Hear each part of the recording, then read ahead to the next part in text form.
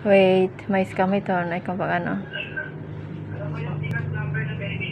Cash number. Yok bang yok? Do you ito? So, ayun guys. May scammer po dito ng Gcash. Kuya, bakit nyo po inihingi yung pin? Hello? Bakit po kailangan ng pin? Ang PIN po ninyo, ma'am, yan po yung mag-authenticate uh, authenticate sa account po ninyo. Magsasubscribe po yan sa GCash Philippines. Pwede nyo pong tawagan ang customer hotline. kung Di ba sa ano, sa? GCash, Okay? hindi naman kailangan mag basta mag pag magsisend ng pera, Mag-transfer lang ng transfer lang naman. Indicate kung ano yung purpose or ano lang. Hindi. Hindi, hindi Hindi po pwede yung ganun, sir. eh. Kasi marami po kasi gumagamit ng GCash ngayon para pang sugal. So, need namin tingnan para yung all, all the transaction. Kung may Pitmaster information ba na naka-involve sa account na ito. Kung meron pong makitang Pitmaster na information, hindi po mag, uh, mag-allow to Sir Money na mag-transfer sa account na yan. Okay? You know what, kuya? Kung tutulong kayo, wala nang madaming ek-ek. Wala ring Oo, madaming ano. tutulong kami ma'am, Kung sa tamang tutulong, tao, pero hindi bibigay-bibigay. dapat pangsugal. Okay?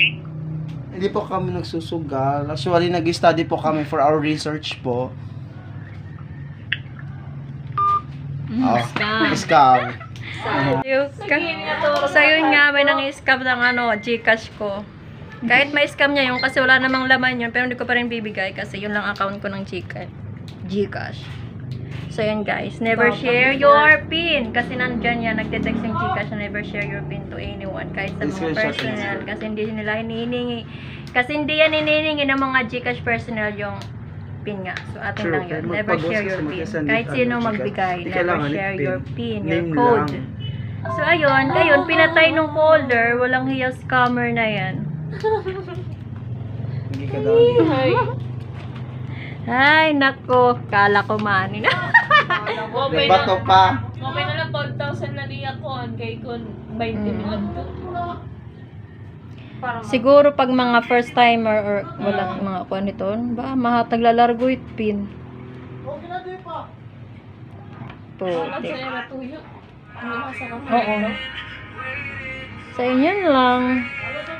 Storbo siya. Nag-research kami. Ako ruto. Kalap alaman namin may pangbayad na kami sa ano namin. Pre-oral and final defense. Charot.